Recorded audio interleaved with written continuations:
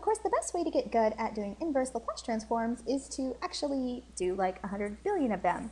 The great news is, is you'll get tons of practice doing partial fraction decomposition as well. So in general, if you can factor stuff on the bottom, do that and do partial fractions. Otherwise, complete the square and go from there. So pause the video, see how many of these you can get done on your own. If you get stuck part of the way, try something else, come back to it. And um, whenever you're watching the video, if you get to a part where you messed up, just pause the video and be like, oh, okay, I'm gonna go redo that. And so we'll pause the video and assume that you've done that. So let's start out with this one.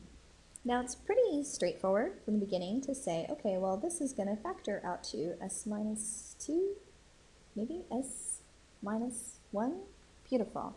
So that means that somewhere along the way we're going to have partial fraction decomposition, s minus 2, s minus 1, and that this is going to in turn be equal to some kind of a over s minus 2 and b over s minus 1. And I'm going to do magic math not magic math, I just did it off camera because I really don't think you want to watch me do 10 hours of partial fraction decomp.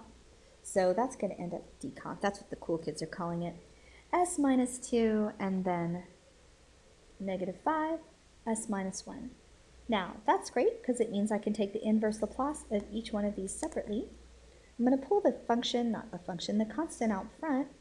So I've got 1 over S minus 2 and negative 5 inverse Laplace of 1 over s minus 1, and then 8, e to the, that's going to be minus 2, so 2t, and then minus 5, e to the t. And that's all That's all we really got. So that's kind of cool. So you can kind of think about this as being the solution to a characteristic equation where r is equal to 2 and 1. Anyway, that's kind of neat. Let's do the next one. This guy looks even better. At least it's already pre, pre-factored for us. All right, so essentially what we're gonna do is we're gonna have this inside part, I really don't feel like rewriting it, is gonna be equal to some kind of a over s plus b over s minus 1, c over s minus 2, and d over s plus 1.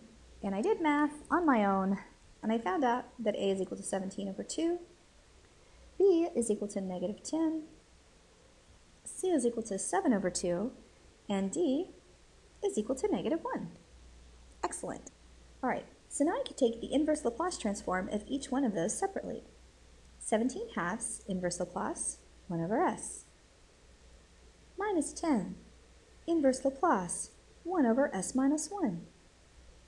7 halves, inverse Laplace, 1 over s minus 2, and negative 1 inverse Laplace 1 over s plus 1. Very, very simply, comes out, so the um, Laplace transform of 1 over s is just 1. So that comes out to 17 halves times 1. Then minus 10 times e to the um, regular t, 7 halves, e to the 2t, and e to the negative t. Lovely? Great. Let's do this guy. Alrighty, so this stuffy here is going to be equal to some kind of a over s plus 1, some kind of b over s plus 2, and some kind of c over the quantity s plus 2 squared. And I do math. And math tells me that a is 2, and that b is negative 6, and that c is negative 8. So now I'm going for the inverse Laplace, sorry, 2 times the inverse Laplace of 1 over s plus 1 minus 6 inverse Laplace 1 over s plus 2 minus 8 inverse Laplace 1 over s plus 2 quantity squared. Excellent. Looking at my table again, this really isn't too much of a stretch. I've got 2 e to the minus t. Now I'm going and acting like, oh, once you have the coefficients, it's super easy. Well, guess what? That's the hard part of it. For a lot of these is just doing the stupid partial fractions and getting used to how this works. All right, now notice here, this is s plus 2, so it's shifted. So it's basically this thing that's shifted. So we know from our shifting theory, so I've got the minus 8, that it's shifted, so I go e to the minus 2t, but that it's just the um, inverse Laplace of just t by itself. So it actually looks kind of funny to write it that way, so I'm going to write it the other way. 8t, because the inverse Laplace of 1 over s squared is just t, but then it's shifted by 2, so it's e to the negative 2t. So that's, I guess, somewhat tricky, somewhat little tricky part of that guy. One more? No, three more. Lots more. all right, so this guy on the inside is going to be equal to, ooh, this is all kinds of fun. s plus 2 on the bottom, a. And then s plus 2 squared on the bottom, b. And s plus 3 squared, or cubed on the bottom, s plus 2 cubed, there we go, s plus 2 cubed on the bottom, and then c. And if you're not remembering how I'm setting these up in the first place, you definitely want to go watch some videos on how to do partial fraction decomposition, because in case you haven't noticed by now, it's kind of super important. So a turns out to be 1, b turns out to be negative 9, and c turns out to be 21, which is fantastic, because now I can find the inverse Laplace transform of 1 over s plus 2, except I have to spell, and by spell I mean math, minus 9 over the inverse Laplace of uh, 1 over s plus 2 squared, and then 21 inverse Laplace of 1 over s plus 2 quantity cubed. Okay, I can do this because the first one is just a shift. Minus 2t, lovely. The next one is a shift on the s squared, so that's like the problem we just did. So it's going to be t, and then a shift of e to the 2t. Now this last one isn't exactly in the form we need because we're suspecting, hopefully, that it's this n plus 1 thingy. So the n is going to be 2 plus 1, which means I need to have a 2 factorial on the top and a 2 factorial on the outside to make everything all kind of line up good. So that means that it's still going to be shifted. So I've got 21 over 2, and it's still shifted e to the minus 2t, but now it's going to be t to the n, and in this case, n is 2. So I have t to the n, e to the minus 2t. I can draw those in together. They look a little bit prettier. And that's what I'm looking at here. How do you get good at this? Like I said, you just, oh, n, except n is 2. I said n is 2, and I just wrote n, didn't I? Come on, type, type, type. The way you get good at these is, first of all, paying attention to what you're doing, Second of all, paying attention to what you're doing. Third of all, paying attention to what you're doing. And finally, doing everything right. All right. So let's give this guy a try. The inside here is going to be equal to 1 over s, or sorry, a over s. And then, this might freak you out, but this is in fact just a factor, a second factor. The um, order of the polynomial on the bottom is a second order polynomial, so that means on top we put in a first order polynomial. Now, this is going to be a little weird, and you don't have to do this if you don't want, but if you're looking ahead, you're already sure that you're probably going to use some kind of sine and cosine thing. So if there's an s on the top, it's going to have to be in the form s plus 1.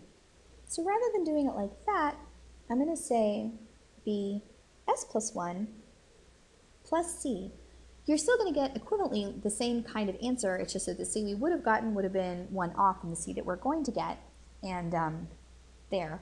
So in any case, we'll still get, I guess, the same b. But it's just going to put our, I guess, equation in a form more akin to what we're going to be interested in anyway.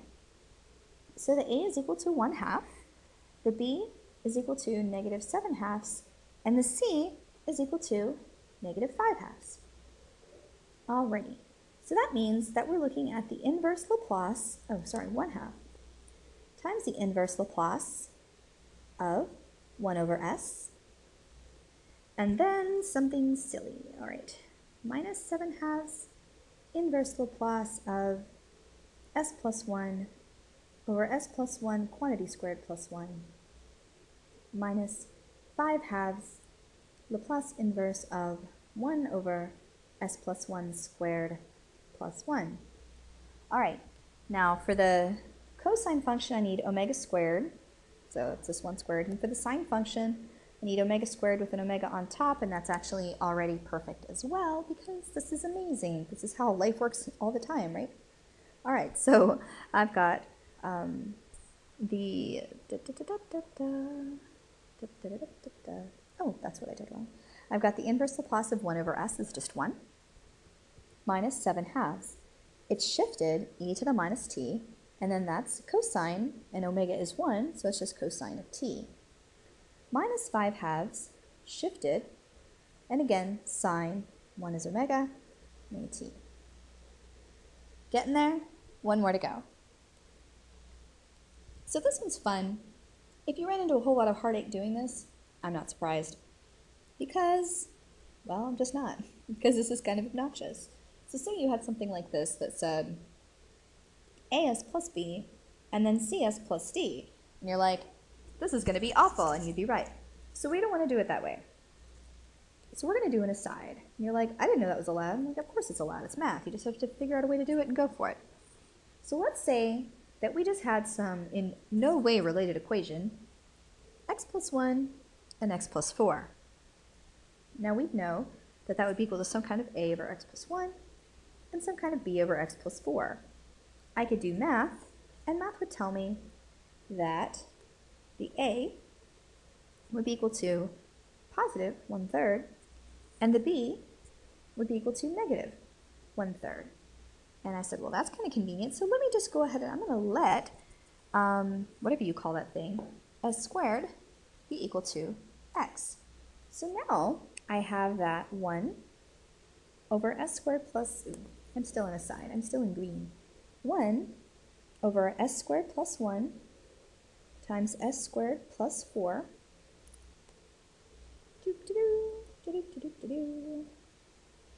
is equal to 1 third times s squared plus 1 minus 1 third s squared plus 4. Got it? Okay, now here's the super sneaky, like, bump yourself on the head part. I'm going to arbitrarily decide to multiply the entire equation by 3s plus 8. You're like, that's stupid. I know it's stupid. So basically it means that I have that 3s plus 8 over s squared plus 1, s squared plus 4 is equal to 1 third 3s plus 8 over s squared plus 1. You're like, but, but, but, but I spent a whole lot more time than that, and that's stupid. I know. This is how you learn. You learn by suffering and going, surely there's a better thing to do than suffer. Okay, so let's see where else we can go. So now we're just trying to find the inverse Laplace of those individual items. I'm going to go ahead and apply the one-third, distribute the one-third across. So what I'm going to end up looking for is the inverse Laplace of, and I'm also going to separate things out, of s over s squared plus 1 plus 8 thirds times the inverse Laplace of 1 over s squared plus 1 plus, or minus, I suppose, minus s over s squared plus 4, sorry, inverse Laplace of s over s squared plus 4 minus 8 thirds times the inverse Laplace of 1 over s squared plus 4. Now, if I look at my tables, she's good to go, she's good to go, she's good to go, she's super duper close, except that on top, instead of having a 1, I super duper wish, since this is a 2 squared, I super duper wish she had a 2, so I need to put a 2 out front. And now it's super duper straightforward again. I have the cosine of t plus 8 thirds sine of t minus cosine of 2t and then minus 4 thirds sine of 2t. So there's a full answer. That is a whole bunch of different kinds of differential equations problems that are, or not differential equations problem, but a whole bunch of different kinds of Laplace transform problems for you to take a look at, get experience with, see how they work. Hopefully you got a lot out of it. If you still need more practice, you can Google internet. Internet has all kinds of more examples. But that should be enough to at least get you a taste of all the excitement there is to be had.